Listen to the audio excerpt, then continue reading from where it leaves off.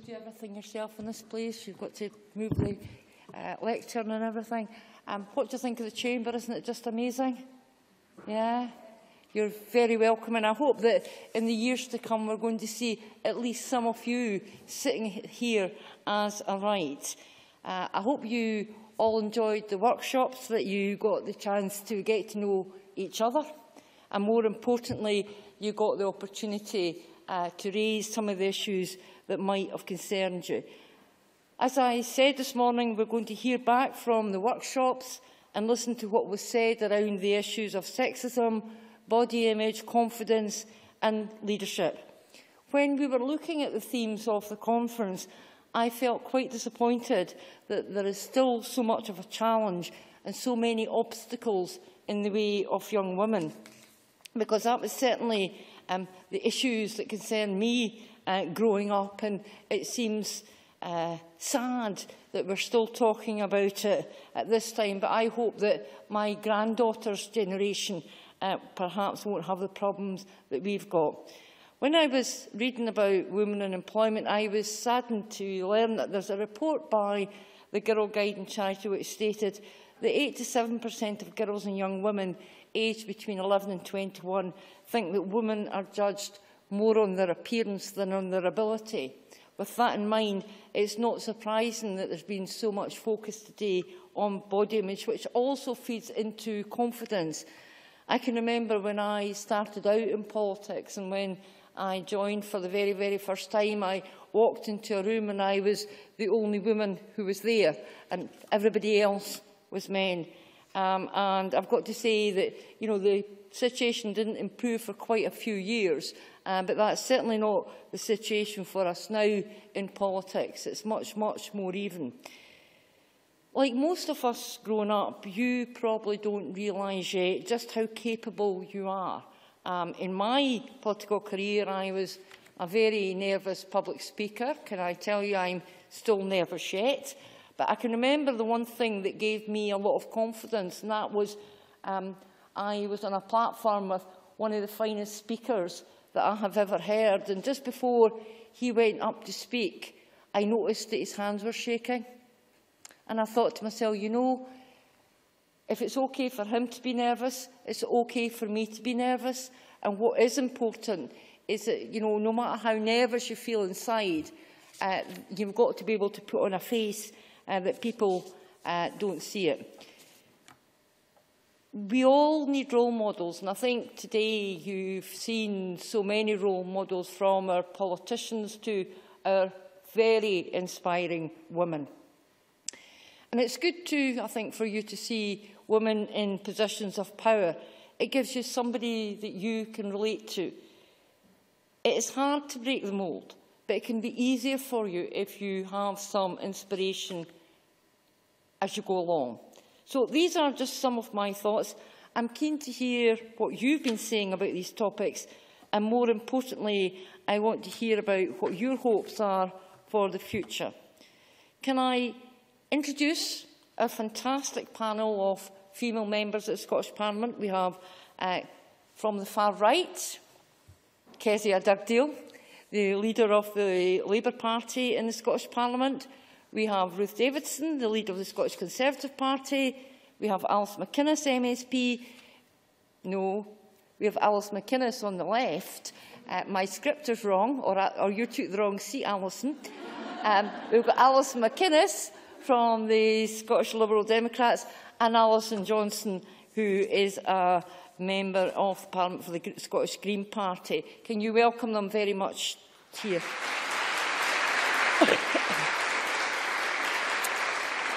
And we heard from many inspiring women today, and we've invited some of them back to give some feedback from the workshops this morning. So it is a great pleasure and it's a great honour uh, to introduce to you once again Cara Henderson from Nil by Mouth, and Cara is our Scotswoman of the Year.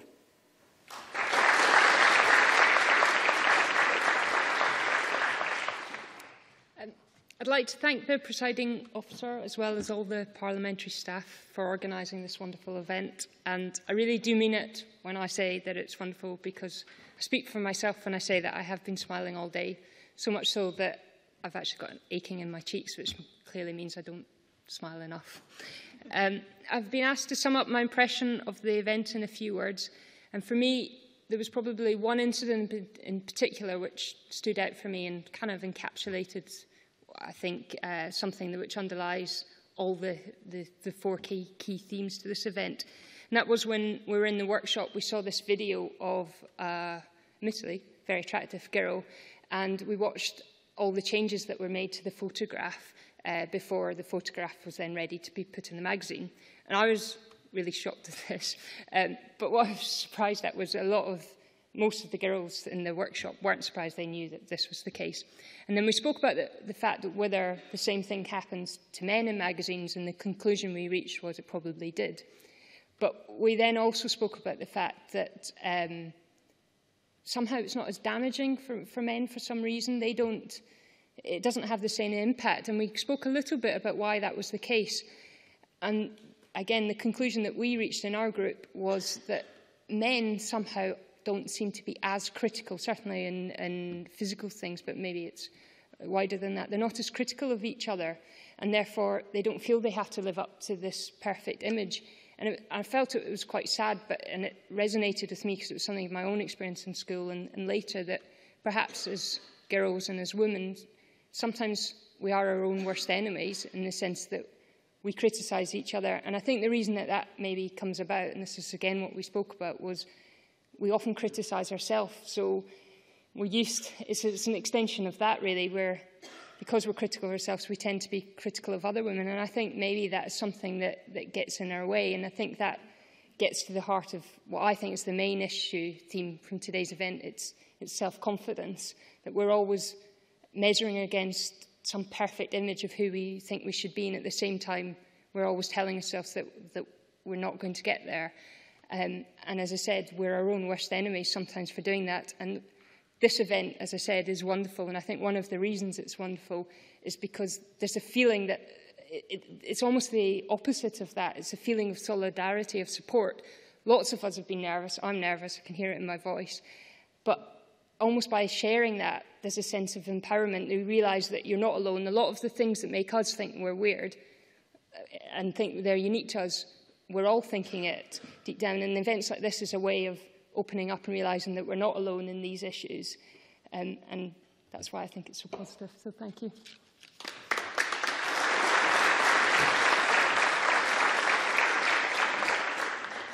And now I'd like to welcome Amal Azzudin. Um, Amal is just a truly wonderful young woman. She saw an issue in her own community with her school friends uh, being removed um, as asylum seekers. Um, she galvanised her school, her community. Uh, she worked so hard. Um, there's been a film about the Glasgow girls. They have won awards. Um, there's been a stage play as well. Um, Amal, You are an inspiration. Thank you very much.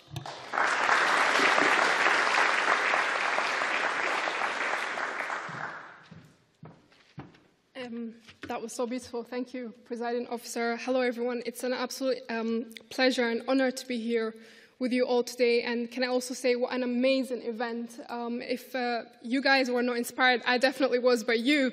Um, it's, it's absolutely fantastic. And I hope that it happens every year and that more and more young people um, are involved because I think um, I wish I was young again and sitting where you guys um, were sitting. I think it's starting to become a habit actually because last time I was here and speaking in the chamber was for International Women's Day in the year 2010 and there was about 400 women here. So I'm back here on another another women's event, so it was great. Um, the session we uh, focused on was on uh, body image and sexism.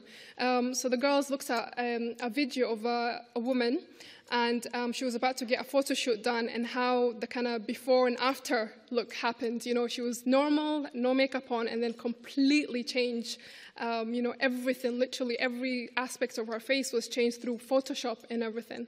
Um, and the discussion kind of focused on how there's um, an expectation to be perfect all the time. There's the kind of peer pressure, um, you know, to be looking fantastic and looking like all the people we see on TV and all the celebrities, and how unrealistic it is. And, um, you know, some of the young people also mentioned about how angry they felt because, you know, why should uh, women uh, be put under pressure to look like um, you know, the women we see and in the magazines, etc., because um, you know, nobody's perfect. And if you look at the kind of models or the people on TV in real life without their makeup on, they're unrecognizable, you know, and that's how different it is. Um, and also how fake it is, because it's not real. You know, the, after the Photoshop and all that, you know, it, it just doesn't make any sense. And also somebody mentioned the double standards, um, because, you know, there's not the same expectation of men to be perfect all the time. And, you know, the kind of sometimes there's the stereotypes and in the communities, it's like, yeah, it's okay for a man to do this, but it's not okay for a woman to do it. So we kind of focused on that. And um, I think I'd like to finish off by saying to all the young people here today that actually it's not what you look like that defines you, it's your character and what you do. I hope you enjoy the rest of the day. Thank you very much.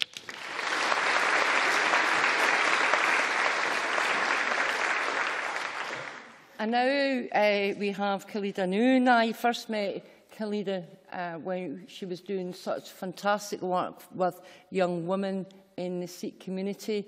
And I found the event that we had in the Scottish Parliament truly inspirational. I think Khalida is an inspirational woman too. So great pleasure to have Khalida with us today. Khalida.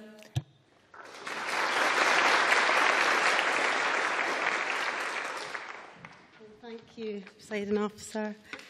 It is really um, an honour to be here today in front of all you lovely young people.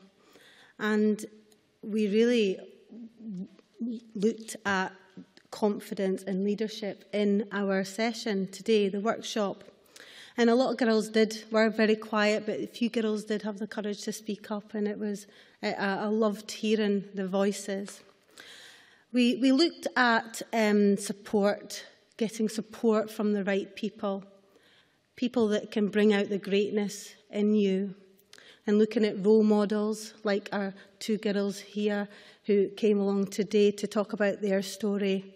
Although harrowing it was for them, they had that wee bit of confidence and really stood up and told their story and of how to come out of something not so nice and lead their own lives. Having, we looked at having faith in yourself as a young lady. It's really important that you do find that speck of faith in yourself to become who you want to be. A few of the girls also suggested, you know, finding something different to do, finding um, perhaps uh, getting an instrument or music or dance, drama, Maybe not at first being excellent at it, but practicing and showing people what you can do. Very important. Being a leader of your own life, finding that speck of special something and building upon that because confidence is, there is a speck of confidence in there and it does become stronger. It does. Through time, it comes stronger and work on it. Build on that confidence to trust your heart and your intuition and having the courage to trust yourself. The issues raised in the workshops that many um, girls from diverse backgrounds don't have the choice to be leaders. Many girls here today have got the choice to be leaders. It's just maybe confidence that's lacking. But many of our girls, they don't have the confidence being leaders, but they also don't have the choice to be leaders. It's taken from them due to cultural barriers. Girls, you know, to take action for yourself respectfully, finding ways to become your own leader of your life however small it may be.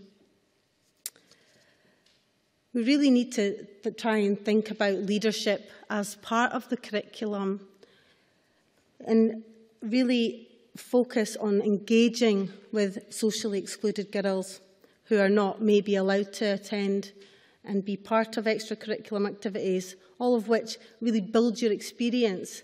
But a lot of girls aren't allowed to do that.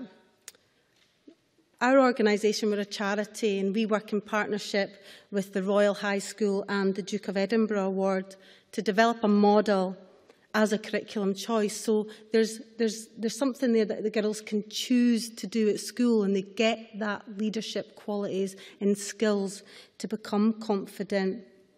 This would then mainstream service and not relying on wee charities like us that we have to rely on funding from places. Because, you know, the learning community and the wider community are not aware of issues affecting many girls like Sangeeta and Jazz. And it's you know, up to us to make sure there's awareness of, of what's happening. You know, there's many Scottish girls slipping through the net in schools and living a life of social exclusion with no options, no positive destination.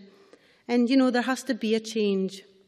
Girls must have the opportunity to be able to strive. And it's really important that all you girls take what you've got, what's been said today, lots of inspiring stories that, you know, the energy has been absolutely amazing, incredible, and take something with you when you leave here today and think about how you can really, truly lead your own life and become and do something totally amazing. Thank you. Thanks.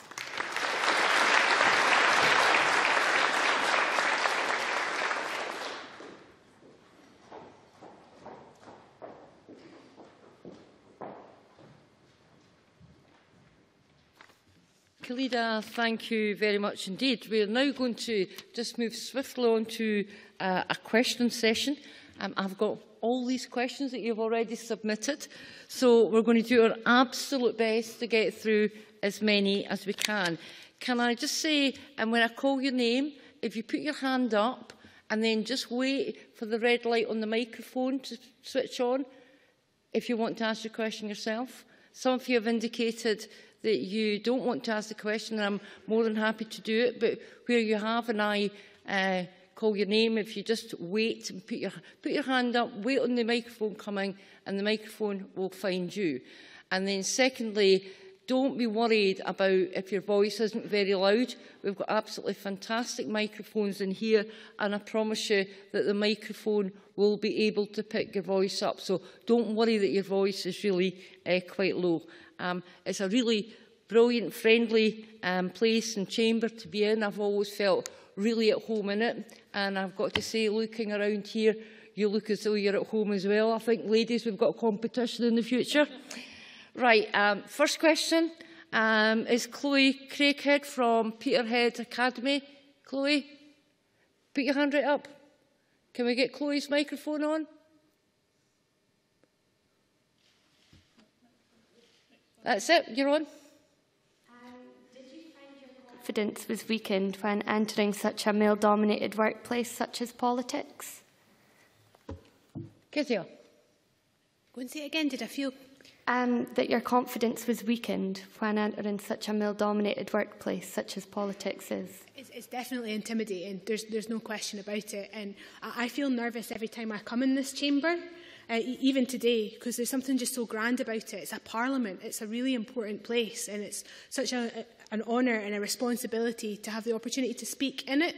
And it's amazing looking at all you, and I hope that there are people sitting in the seats today that will be MSPs in this chamber one day. But yeah, I, always nervous when I'm in here. I was talking to a few of you at lunchtime and this morning about that sense of nervousness.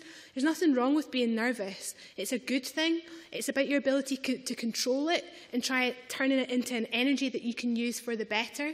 I, sit in that seat there at First Minister's Questions on a Thursday, and I'm always absolutely crapping it. But it's like my, my legs shake. It's where you, my nerves are in my legs. Like if you saw me standing, my legs shake. My, the top half of my body's fine, so I don't necessarily look nervous. But it's all about controlling your nerves. Uh, but you should never not be nervous because the minute you stop being nervous, you get arrogant and then you make mistakes. So don't be afraid of nerves. Nerves are a good thing. It's about coping with them and using them to your advantage. Ruth. Yeah, I've always worked in uh, environments where there's been more men than women. So I used to be a journalist. I was a journalist for 10 years before I became a politician. I worked at the BBC. I did loads and loads of radio. Um, the first time I was asked to present a two-hour news and current affairs show of an afternoon, I vomited twice on the way to the studio. Um, so, like, actually literally threw up in a waste paper bin before I went on air. That's the, the kind of nerves that got to me. Um, And, and outside of that, I used to be in the Territorial Army, which is where I did, when you talk about leadership, that's where I got my leadership training um, on, on how to be an army officer. And some of the skills that I learned there I've transferred over into this job. And that's, you know, definitely more men than women that do that. Um, and it's not just in here. I mean, when I worked at the BBC, I was on radio for ages and I really wanted to try television. And one of my good pals, like she wasn't being bitchy, she wasn't being horrible, she was trying to be nice, took me aside and said, look, Ruth, if you want to do telly, you've got to lose a couple of stone and put on more makeup. Like, that was her advice to me. And I said, oh, well, sod you then, I'm sticking in radio. Uh, and I did. Um, so I, I'm kind of with Kez. I've always done stuff that terrifies the living crap out of me, but I've always made myself do it. And the, the, the buzz and the high that you get afterwards, like even when you're on you know, a late night telly show and you've got a debate with political opponents or people are criticising you and you're defending yourself or you're putting forward your point of view, the buzz you get from that is enormous. One of the coolest things I have ever done in my entire life, probably the coolest thing I will ever do in my entire life, was doing a debate at the Hydro in front of 8,000 young people. You know, politics shouldn't be like rock music, but the referendum was so big and so important, it captured everyone's imagination. And, and you know, saying what you wanted to say and having people listen to you, like 8,000 people in an auditorium was just, you know, I, I didn't sleep, I didn't get to sleep till about 3 a.m. that night because it was that cool. So yes, it is really scary sometimes, but other jobs are scary too. But just because you're scared, it doesn't mean that you can't rock it, because all of you can. Alison.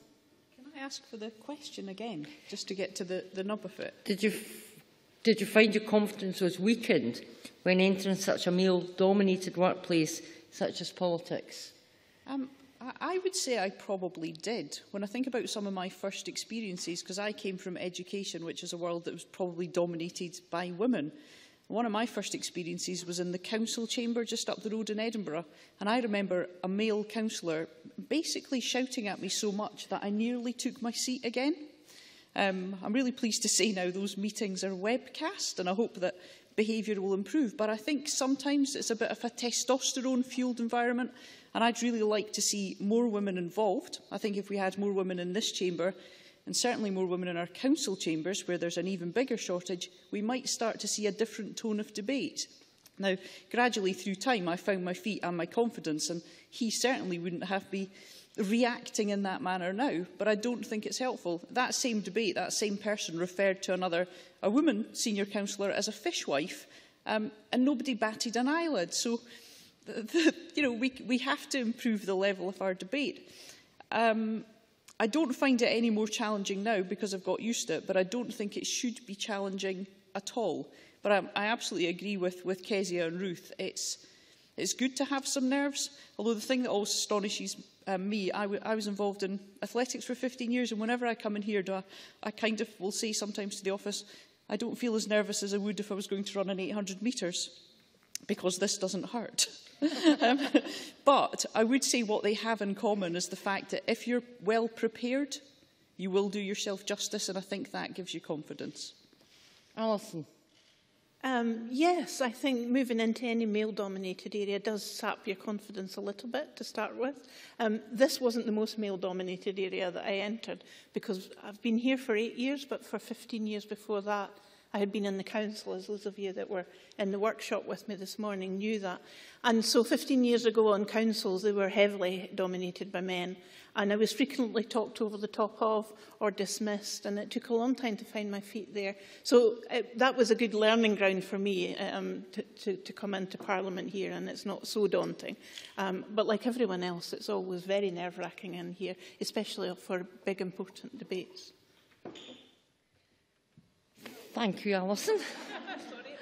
you could have kept it going another 30 seconds. okay. Um, next question is from Lucy Stanage from Preston Lodge High School. If you could raise your hand, Lucy. Up the very back. Keep your hand up. That, your mic's on. Okay. No? Okay. How have you dealt with people who are negative towards your ambitions and tell you that you can't do it or you won't succeed. Ruth? Um, I've gone out and shown them. I've been told I can't do stuff forever in lots of different areas of my life. And it just is the one thing that really makes me want to stick two fingers up to people. I think that's possibly just because I'm, I'm a very cussed individual. Um, so there's lots of things that I've done that I was told I wasn't allowed to. So I wasn't allowed to play football for my local under-14s boys team. And then I became the first girl that did. I was told I'd probably never walk again when I got run over by a truck and I made damn sure that I could. I was told that I would probably never be I would never get elected as a Tory in Glasgow, and I have. I was told that I wouldn't be able to be leader of the party within six months of becoming an MSP, and I did. Um, that's mostly because I really hate people making assumptions on my behalf of what I'm able to do. That's not for anybody else to tell me what I can and can't do. It's up for me to decide what I want to do and then go out and work as hard as I can to achieve it. Um, I was really lucky growing up that my, my family was always very supportive. Um, and, and the one thing that my mum always said, it's always stuck with me, two things actually. The first is that nobody's better than you are and you are better than nobody. So you've got to treat everyone as you like to be treated yourself and don't let anybody do you down. And the second thing is, I don't care how good you are as long as you've tried your best. So I got a rollicking, I absolutely remember this, in second year at high school. My mum gave me a rollicking because I got a two for effort in science, even though I'd got a one for my grade, because I could have tried harder. And, you know, that was always the thing. It was always about trying your best. So um, people who tell me that I'm not up to something usually find pretty quickly that that's the one thing that makes me want to give them a total smackdown. Alison. I think that's a great question. And I do think, you know, Ruth's given you a fabulous answer there. It's all about just being, you know, quite determined, quite focused, prepared to put in the time and the effort you know, really don't take no for an answer if you want to achieve something and don't necessarily model yourself on someone else. You know, just think about where it is you want to go, where you are now. And I think get a good team of supportive people around you. If there are naysayers, just say, well, you know what, if you want to sit there and be negative, that's your prerogative, but I'm determined I want to achieve something. Don't take no for an answer. And I think we've had a really good discussion this morning about the need for other women to be kind to one another, to be supportive, to mentor each other, to help each other. And as we've said, you know, we're all here and really willing to be contacted and to help you in any way we can, because the support is out there if you want to find it. But just don't take no for an answer. Alison. Well, if someone says, no, you can't do that to me, it tends to have the adverse effect, and I do tend to get very determined. I'm, I, I'm a different generation from these, these young women here, um, and I was told much more often in the 1970s that girls didn't do these kind of things. Um, and I told you about my, my physics teacher when I was at school, when I was in the 1970s, who didn't answer questions when, I, when a girl asked uh, the question because he told us we couldn't do science. And that kind of attitude made me very determined determined and, and, and quite um, determined to, to, to prove a different pathway for myself and for my daughter, and to use this Parliament to speak up for, for, for young women at every opportunity that I could. Alison's right. I think um, if someone says, if you're determined you want to do something, then ask for help to do it. Don't be afraid to ask your friends and colleagues for help, because actually people are usually more than willing to help you reach your um, ambitions. Kezia. The last time somebody told me not to do something and I did it anyway, you gave me a really big row. and, I'm, and I'm going to tell the story because I, I think it might tickle people. But when I first got elected, we had a debate in the chamber about affordable childcare and Save the Children, the charity, were in the building and they gave all the MSPs these simulator babies, you know, the ones that cry every now and again and that they pee and they exist like real babies. And I thought it'd be a really smart idea to bring it into the chamber and do my speech with the baby in my arms. And, and I did it, and I got such a row from Trish, you wouldn't believe uh, how much I got put in my place for that. But and I wouldn't do it again. I wouldn't break the rules again because I did disrespect Parliament. It was against the rules, and this is a serious building. And but what I was trying to do was to say um, how hard it was for women to to get involved in life, if they have childcare responsibilities. And I, I cracked a joke trying to say, you know, I couldn't find any childcare, and Trish didn't find it very funny. Should we expect to be such a bad person? Uh, Right, there's no name on this one, but I think it's a really, really good question, so I'm going to pose it anyway. Do you ever feel like you're not good enough for your job? Uh, Alison. Yeah, it's Yes. Alison. Yes. Um, I was talking to some of the people in my workshop this morning about something called imposter syndrome. Um, and that's when you move into a new area of work or you go to um, a new course at the university or at the college and you walk into the room and you look around and you think, oh my goodness, everybody in here is brighter than me, or everybody's doing a better job than me. And girls in particular do this quite a lot. I've talked to um, teachers and to university lecturers, and they say that girls then, rather, they, so the next part of that is that they say, I'm going to fail. I'm not as good as these people. And then they talk themselves back out of the door, and they themselves remove themselves from that particular arena because they feel they're not good enough. And, and it, it's a well-known um, psychological kind of syndrome, and, and we encourage it in ourselves, I think, particularly those women who are less confident. And it's something I struggled with quite a lot when I first came into politics, partly because so many other um, very um, typical type of politicians were there. So the, the ones that could stand up and make a good speech, the ones that could uh, you know, debate for, for England or for Scotland, indeed, you know, and, and, and we're very good at that. I'm still not a great debater. Um, I still get nervous in large situations like this, um, but I've learned to overcome that imposter syndrome, and I think that's one of the things that everyone should do. Just remember that you are good enough. You're usually better than the other people in the room. You're at least as good as them, and you must believe in yourself. Kez? Um, it, it doesn't happen very often now because I try and control it, but it, it definitely does happen. And, and I'll give you an example. About 10 days ago, I did question time and it didn't go well. Like the, the audience booed me and I, I was like really struck by that. I was really thrown by that. I didn't know how to handle that. And I, I went home that night and looked at Twitter and pretty much everything people were writing about me was negative. And I got really upset about it because I thought, you know, maybe, maybe I'm not cut out to be deputy leader of my party. Maybe this has all gone a bit too fast. Maybe I need to slow down. And for a few days after that, I was really low. But then I, I did another interview, like a radio interview that went much better. And I remembered again that I could do this and I was good at it. So it doesn't happen all the time, but sometimes things happen. They trigger your, your, your weaknesses. You, you, you know, you say push your buttons. It's just this has to be a phrase that somebody use or a word or, you know, a memory. And it can make you feel really crap. It doesn't, you can't let it happen all the time. But to say you're immune to it in politics is, is nonsense. It hurts everybody at some point. Ruth? Yeah, um, I, I don't know. It's, it's something I've struggled with. Um, nobody's all front all the time. Um, when I was growing up, I've, I've got a big sister. She's really smart, really thin, really pretty. She's now a doctor. She's a consultant for the NHS. She was head girl of the school. She got five A's. I'm none of these things. I did none of these things. Um, when I went to university, I went to university at 17.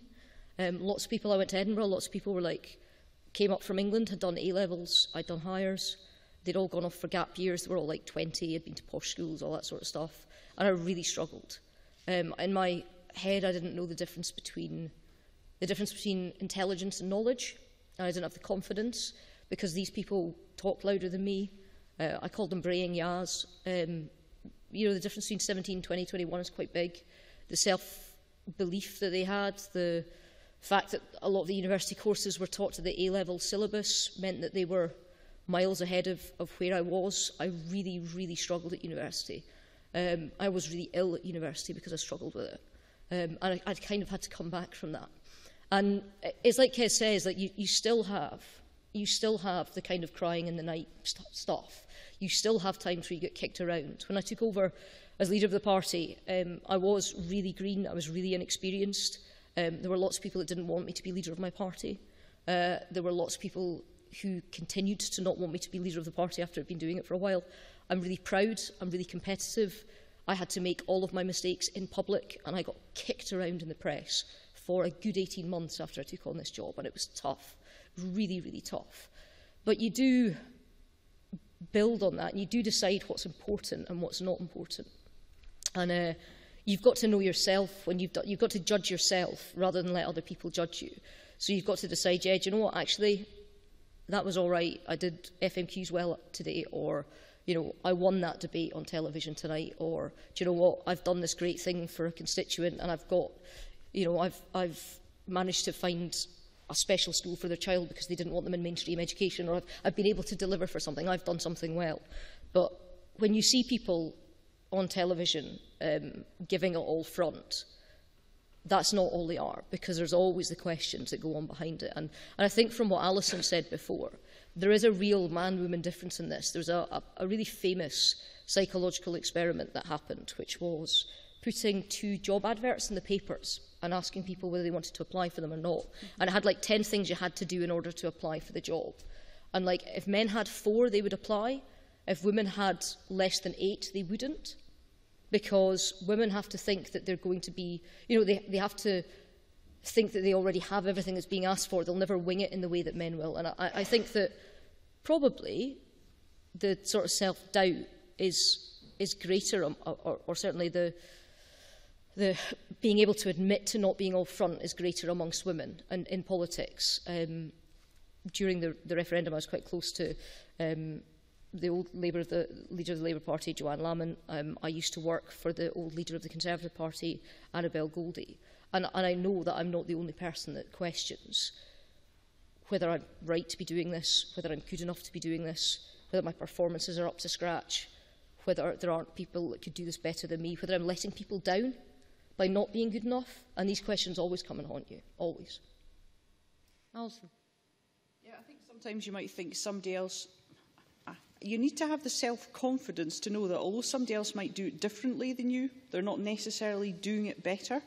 Um, that's a lesson that's taken me a long while, uh, you know, a long time to learn. And I think you have to take responsibility too for how you feel in a situation, because sometimes other people will try to make you feel bad about yourself. And I also a quote that Eleanor Roosevelt um, you know, gave always sticks in my mind. No one can make me feel inferior without my consent. So simply just keep a bit of distance between yourself. You know, just keep a bit of yourself sort of firm and solid in there and say, I'm simply not going to be made to feel bad. I mean, I personally wouldn't advocate never read the comments under a newspaper article. yeah. Don't get too bogged down on Twitter. I think it's much harder for you girls now growing up with all the social media because what sticks in your mind? See if you got 50 comments and 49 of them were really positive. What's the one that you cling on to and think about the most? I don't know why that is, but we always think about the negative things more. We can build them up and give them too much space in our heads. So think about all the people who love and support and admire you, the people who really are your friends that are there for you, and just have that self-belief And we all have self-doubt. We're only human. But I think when it comes into your head, just say, out you go. One thing I used to do when I came in here, I'd be thinking, this is a big day. I'm feeling quite nervous about it. And then I'd think to myself, regardless of what happens, I'm going to do this today. So there's two, there's two options here. I can either enjoy it or I can grit my teeth and sort of fight my way through it. So I used to write in quite bold pen at the top of speeches, enjoy. And I think that helps because think you're doing it, it's a huge privilege. Just try and enjoy it. And I think that makes a difference. I think, you know, one of the big problems uh, that we have is that, you know, if you don't have a lot of self-confidence, you feel throughout your life, I'm going to be found out, I'm not good enough, that, you know, people will start saying that. And I can remember way back in 1992, because I'm really quite old, um, the first time I ever uh, wanted to stand for election and it took me quite a lot of time to decide that this is what I wanted to do and we went for what was called a vetting weekend where the party decided whether you were good enough and there must have been about 60 or 70 people on this weekend. And about two nights before it, I took cold feet and I thought, I can't do this. I'm just not good enough. I can't possibly do it. Um, I'll be found out. All these people are better than me. Um, so I decided not to go. And a very, very good friend of mine um, said, don't be stupid. You know you're better than some of them. I said, no, no, no, I'm really awful. Uh, anyway, he persuaded me that I really ought to go. Um, so I went. And then once I got there, um, I suddenly realised, uh, after about 10 minutes, that about a quarter of the people who were on the course um, were much, much better than me. Um, about half of them were absolutely crap um, and I was probably in um, the next group. So I wasn't the best, I certainly wasn't the worst, um, and I self-assessed myself within, you know, the sort of uh, next 25%. And I know at that point the SNP were so desperate for candidates they were not going to fail half a course. So I decided in that case I was fine and I certainly um, I passed it. But, you know, I was within you know, inches of not going because I didn't think I was good enough. And I think sometimes you've got to sit back and um, take encouragement where you can get it.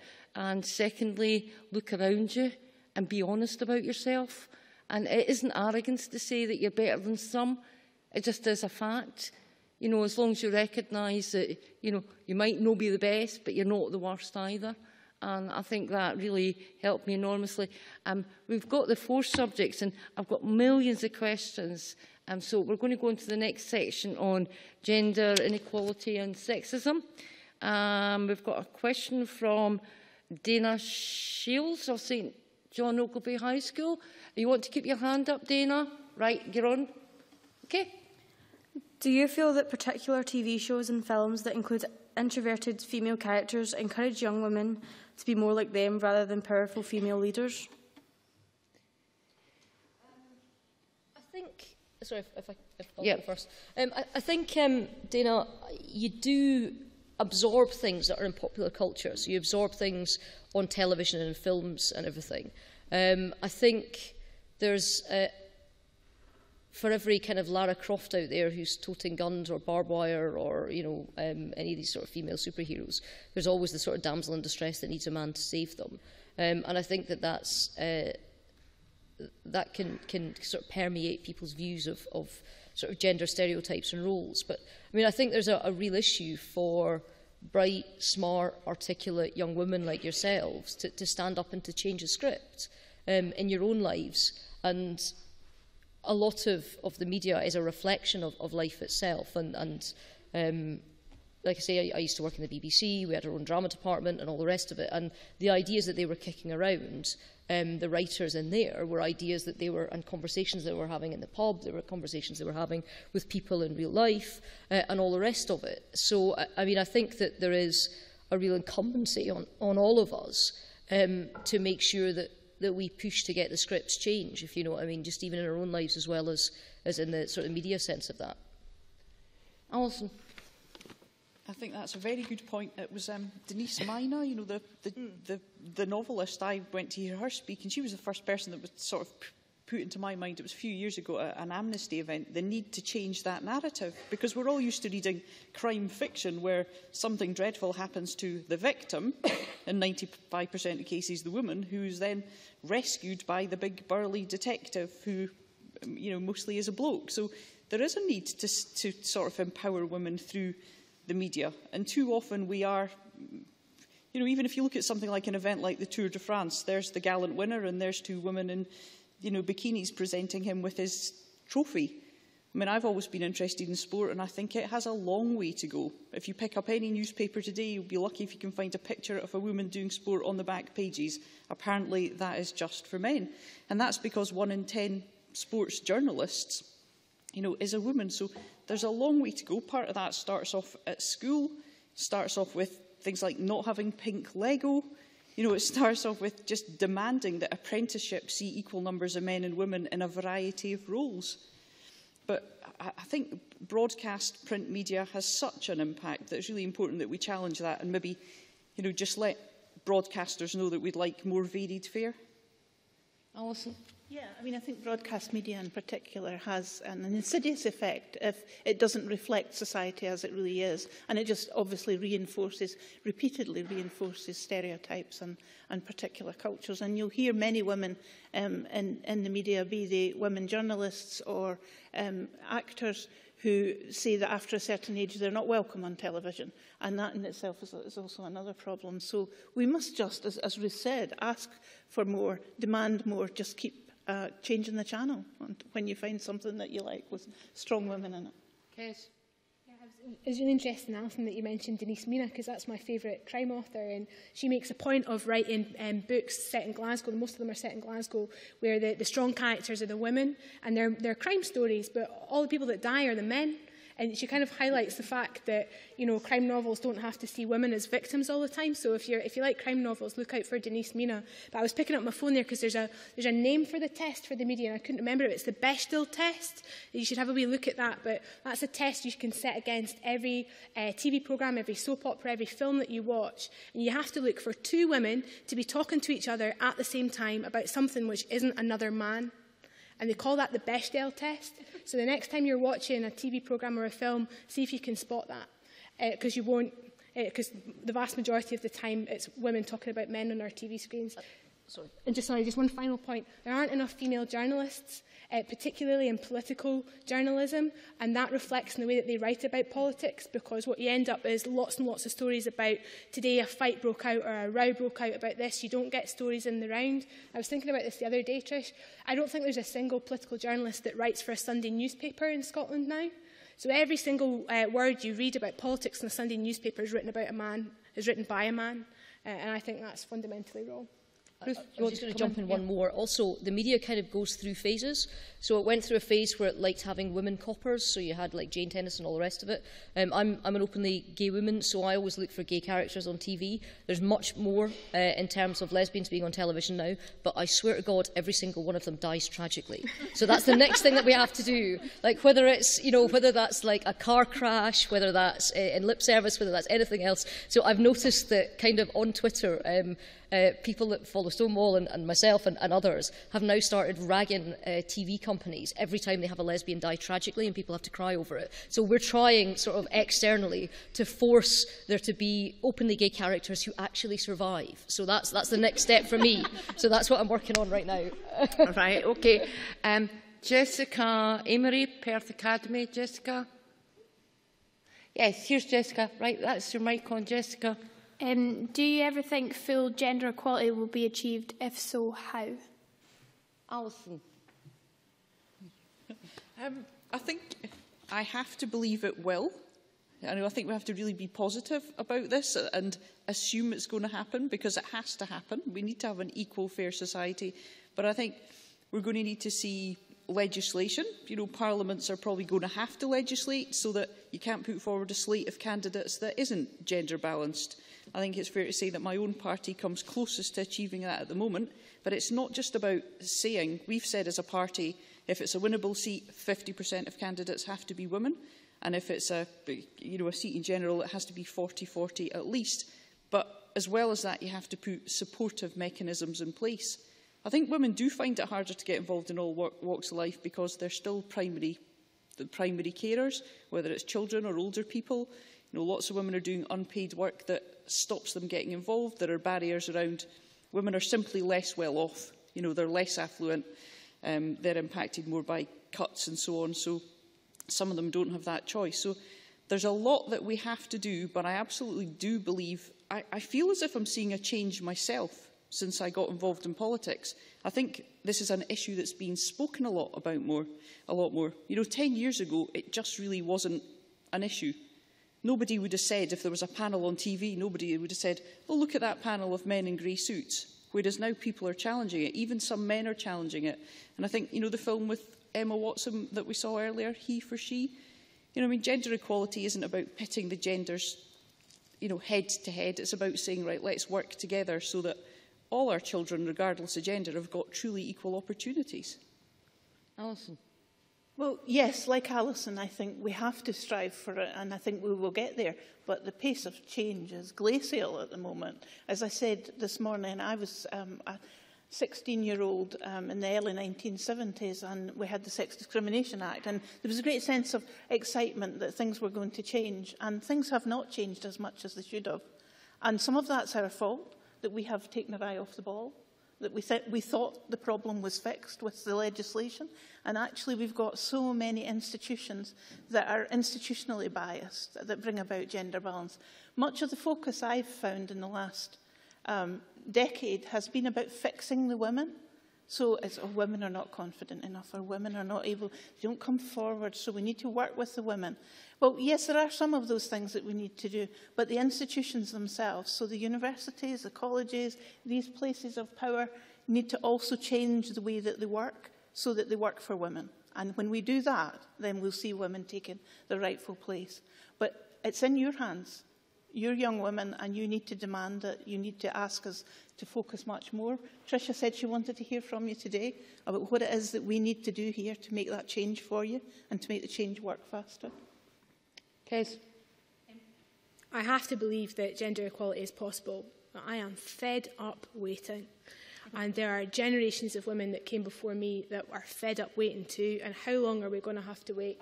Are we just going to do something about it? So just after the referendum, uh, Alison Johnston and I set up a campaign called Women 50-50.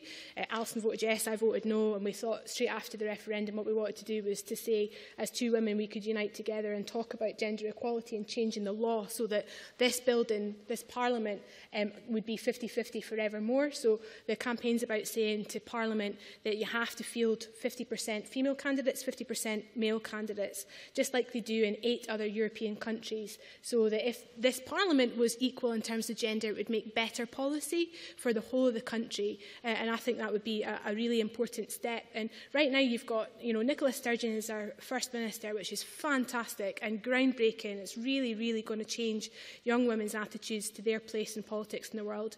You've got me sitting over there um, leading the Labour Party in here and Ruth over there um, speaking for the Tories. Three women at the front of politics in Scotland. That's fantastic. Four. But four. Well, absolutely. but I'm just talking in party politics terms. But it won't always be that way, Trish. One of us is going to screw up. It's just a matter of time. And then there'll only be two. That'll be me. Uh, just if asking. And then what happens? So I think that our legacy to Parliament could be that we have a 50-50 Parliament. I, yes. similar to, to the other three, I, I have to believe it's going to happen. I think it's to have true gender equality, that it goes beyond having to make legislation. It's that we've got to a stage where that's no longer needed to either protect, empower, support or promote.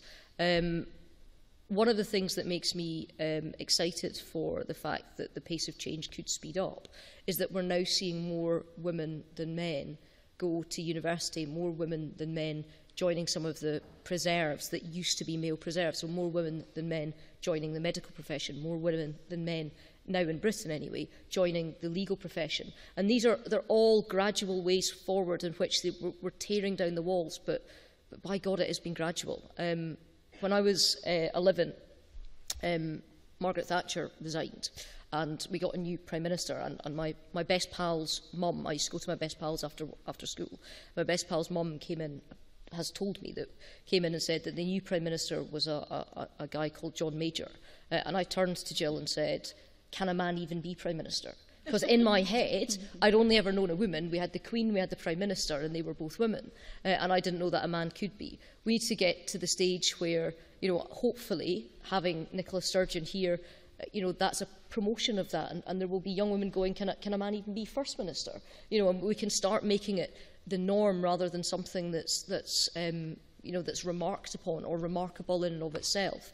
Uh, and, and I hope that as we have more women going to university, more women going into profession, more women coming into politics, and all of these other ways. We can make this the norm so that it doesn't have to be something that is, like I say, supported, promoted, legislated, all the rest of it. We just get to win because, by God, we've been waiting long enough in order to win.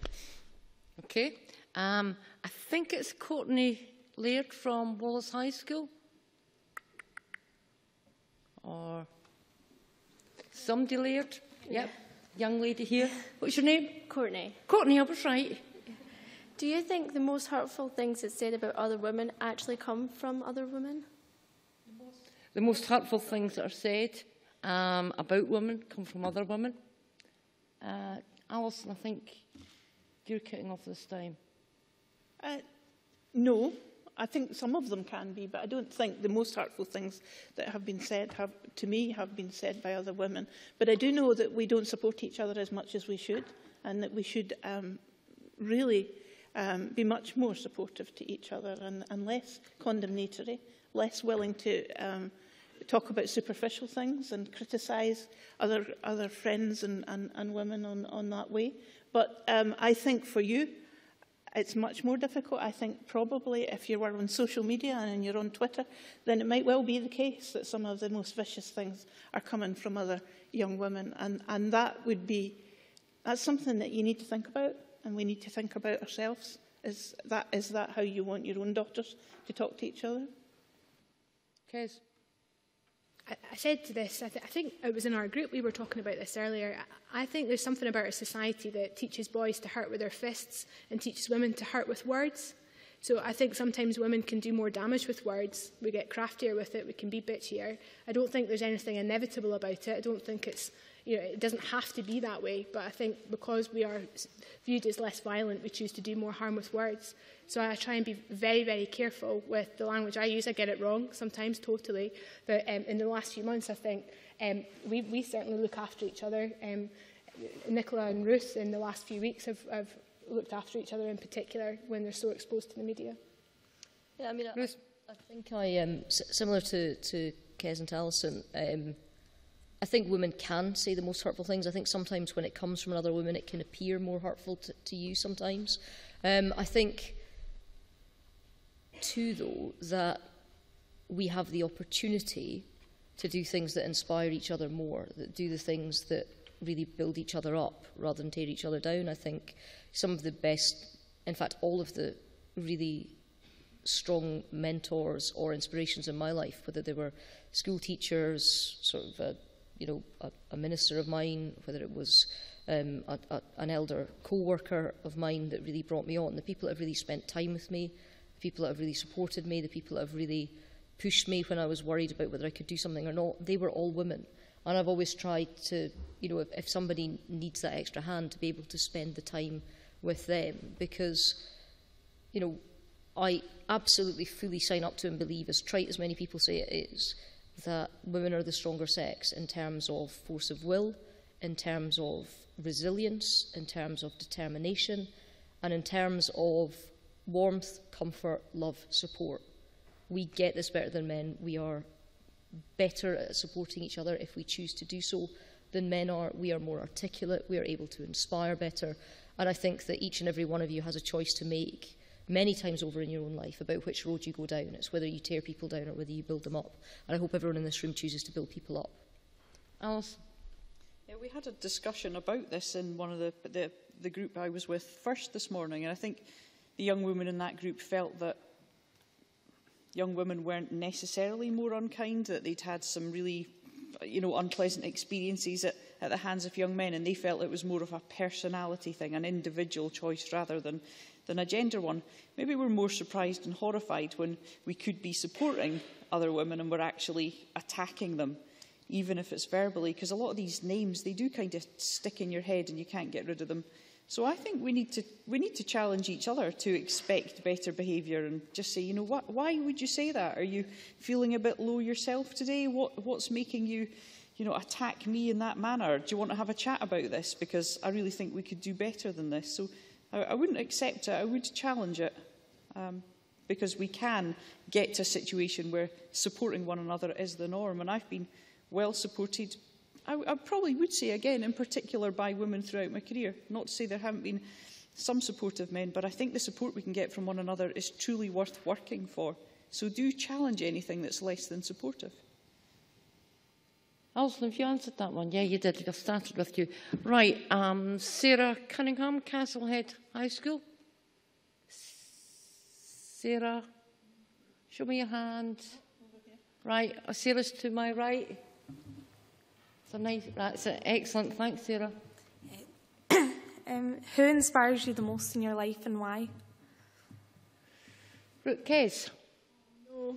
Who inspires you? I sort of a bit, uh, I wondered if they'd ask like, who, who's the most like, inspirational figure. I thought you were going to ask about computer games. We had a good chat earlier about women and uh, doing computer programming. Um, it, the woman that's most inspired me politically is Doreen Lawrence. So um, that's, that's where I found my politics was around um, the death of a guy called Stephen Lawrence, who was, who was killed in the 90s by a, a gang of white boys in, in London. And um, she fought back and ran a campaign for the best part of 20 years to prove that the police were institutionally racist.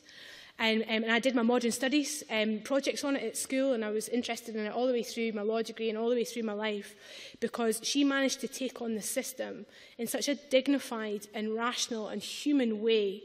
Um, it, it just it, it has always inspired me. And, and now she's, a house, she's a, in the House of Lords, she's the Baroness, uh, Doreen Lawrence. And, you know, I want to get rid of the House of Lords. It's an archaic institution, but my God, I'm glad she's there. And I just think she's an incredibly inspirational woman. If you're not familiar with the story, you should Google it after today. Ruth? Um, I guess I was a bit of a weirdo growing up, and I, I always kind of liked books um, more than people, and they sort of inspired me. So the, the biggest inspirations I had growing up um, were fictional characters. One of them was the fictional character of Henry V in the Shakespeare play, and the other one was the fictional character of Atticus Finch in uh, um, uh, To Kill a Mockingbird. Uh, and the thing that, that unites them both is they're both about um, doing what is right, no matter how difficult that is, and staying true to your own beliefs and not letting external pressures stop you in what you believe that it is that you should do. And I, I think that's something that everybody should try to live up to. If, if we're talking about sort of politics and real-life politicians that are alive today, um, I guess that the person that I would point to is a, a, a woman who uh, leads a country in Africa. She leads Liberia. Her name is Ellen Johnson Sirleaf. She um, became the president of Liberia um, and she, she had a, a really tough uh, leadership campaign. Um, she's from Liberia. She went over and studied in the States, was very eminent. Uh, I, th I think she was, a, a, a, she was an accountant first and then an economist. And she came back because she wanted to help her country because her, her country was, was broken and bleeding. And she, she ended up running against the most famous footballer that Liberia had ever produced, a guy called George Weah, uh, who played in the English Premiership. And like all the media were interested in him. He was wanting to do this kind of as a feather in his cap um, in, in terms of being the most, he was the most famous African footballer at the time, he just ret required, retired. And she won because she went from village to village and set up women in the villages that wanted to vote for Mama Ellen. And it was about being the, the sort of embodying the motherhood of, of our country. Now, Liberia is a tough country. You know, there have been some mistakes that she's made. She's, she's you know, it's, it's it's a really, really difficult region to operate in with the, the, the sort of countries that are around it. But in terms of how you run a campaign, how you empower women who were always seen as second-class citizens, um, who didn't always vote, sometimes who gave their votes to the men um, in their families to vote on their behalf. She ran the most fantastic campaign and is the first female democratically elected leader over there and is you know, an absolute inspiration for how she managed it. Alison to mention another African woman, and it's interesting, maybe it's because they've had to face such um, adversity, but Wangari Maathai, who was a, a Kenyan woman who founded the Green Belt movement, and she started doing that because when the floods came to her, to her neighbourhood, all the produce and everything was being swept away because clearances had just meant there wasn't a tree in sight. And she just got a group of women together And at first, the authorities told them that they didn't even have the know-how to plant a tree and that they needed to go on a special course. Really, I'm not making this up. Um, and she got these Kenyan women together and they planted thousands of trees and sort of re-established agriculture and were able to make a living from themselves. And she went from a really very ordinary, impoverished background to becoming a professor and won the Nobel Peace Prize. So uh, she's someone who, uh, you know, whose aims sit uh, very much at the, the fore of my heart. And there's a group of Kenyan Scots in Edinburgh who meet quite regularly and do a bit of you know, planting with them, just getting together and sort of reminding ourselves about her legacy and how it's one that could apply to, you know, a community near you, really. Alison. Um, I draw a lot of inspiration from a writer called Maya Angelou, um, who was an activist in America. Um, she worked alongside Martin Luther King. She overcame great personal adversity um, and went on to be a great writer, singer, actress, um, and I often turn to her words um, to find a way through difficult situations. Um, politically, I would say Shirley Williams, who's um, of a different generation again, but um, a, a woman who set up comprehensive schools um, that you all now go to, um, and who's in the Liberals and has always championed the individual dignity of, of, of people from whichever gender they are. But you know what? The more I look around and the more I do this job, the more I see inspirational women every single day. And they're there in your community. Just look around you, look in your schools, look in your communities, and you'll see people who are doing all sorts of things against the odds and doing it well. Um, we've got one final question. Um, there's no name here, um, but it's somebody from Dunoon Grammar School. Um, if you had three genuine real wishes, anything at all, what would you do for teenage girls in today's society? Who's to start with that one?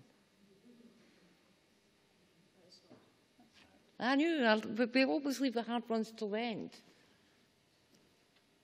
All right, even one wish. What, what do you wish for these young women?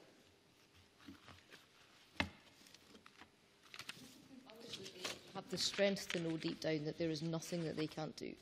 But in terms of wishes of things that we can practically do to make things better, I think that they're one of the things that I would like to see um, a lot of, of change in is um, one, the representation of, of women in mainstream media. So that's some of the things that you were talking about earlier in terms of magazine articles, televisions, all the rest of it.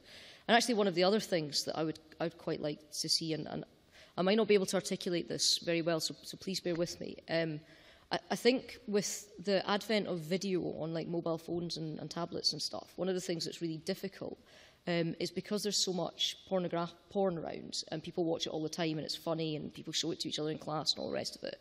I think there's a real difficulty for young boys as well as young women growing up of what is expected of them when they start having relationships and what and how you treat each other in that. And, and even and even what you're supposed to look like in, in some ways. Oh my God, there's hair. Wow, who knew? Um, but I mean, I think there's a, a real, real difficulty in terms of the sort of self-respect that you have to have in what other people expect of you and some of the names that you're called growing up if you don't do certain things, some of the names that you're called if you do do certain things, and the pressure that young women and young men have now is so much more than it was, you know, even when I was at high school and those pressures were there, but they're, they're much, much stronger. And with, with things like, you know, sort of texting photos being sent around schools, texting videos being sent around schools, as well as stuff that you see on RedTube or any of these other sort of, or Pornhub or any of these other sites as well. I think the sexualization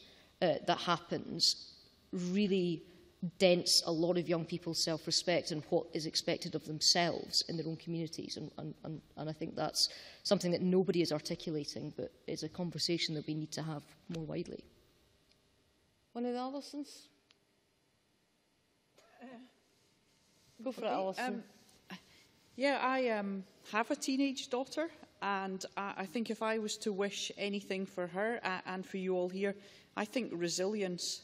You know, when I go to parents' night, I, I'm not so. I think leaving school with the ability to bounce back from the difficult situations that you will encounter is massively important.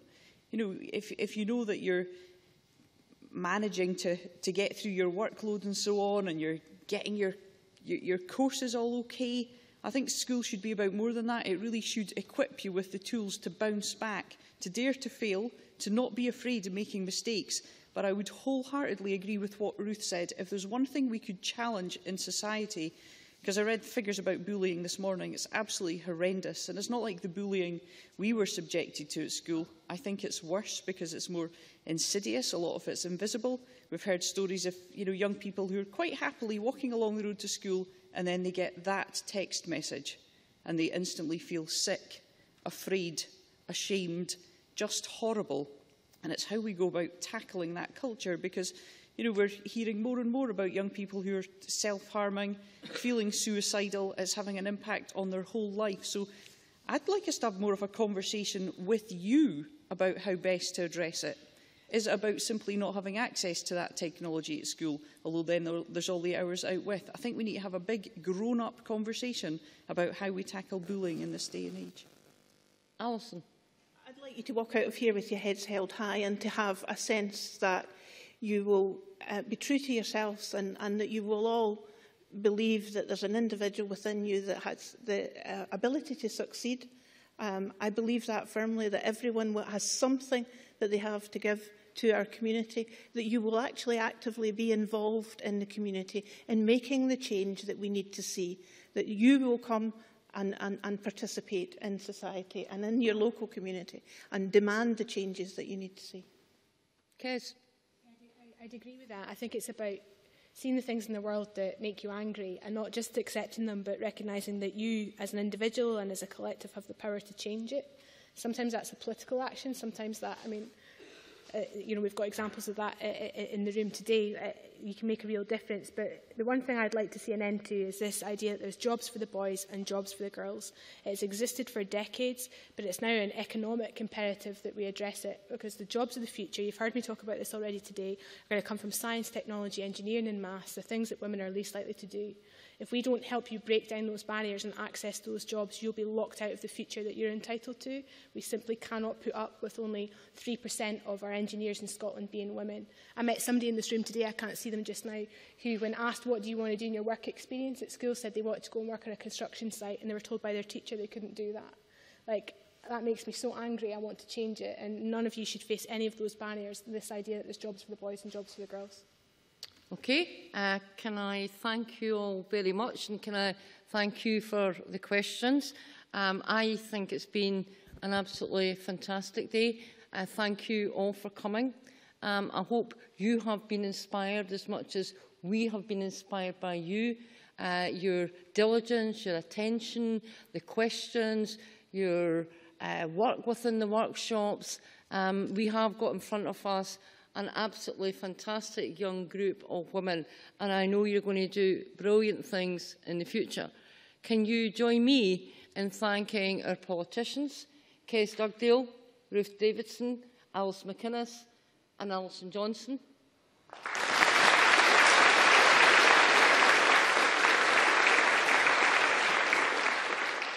and our inspirational women, um, Cara, Amal, Khalida, and in addition, Pamela Gillies, who is here today, and Louise MacDonald, who was here earlier today, who helped out in the workshops. Thank you very much.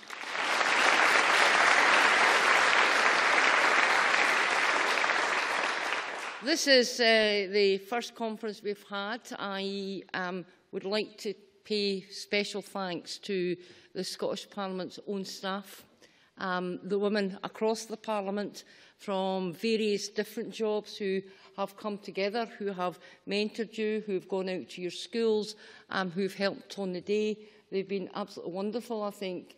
Um, they have shown the Scottish Parliament and the Scottish Parliament's women staff in the best possible light. So can I pay my personal thanks to the staff of the Scottish Parliament for all of the work that you've done putting on this event today. Thank you.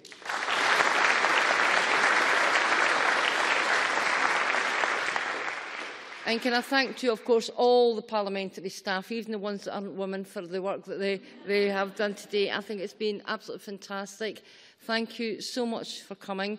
Um, safe journey home. But before we break up, I understand that Andrew, our photographer, um, wants a photograph So, Andrew, I'm sorry, we don't have a female photographer, but Andrew, I'm working on it. Um, Andrew, don't be bad to Andrew. Andrew's going to take a photograph now. When Andrew tells you to do something, you do it, right? And I'll tell you why. It gets the pain over and done with. And we just do exactly what we're told. Um, we don't have any mess about. So, Andrew, would you like to organise us all for the photograph? Okay, can I ask everyone in the two centre sections if you could stay where you are, but stand up if you're able to. The people in this section, if you could move into the spaces, there's plenty of room behind the seats, and people in this section as well, if you're able to move just into the spaces behind, just somewhere in the two centre sections here.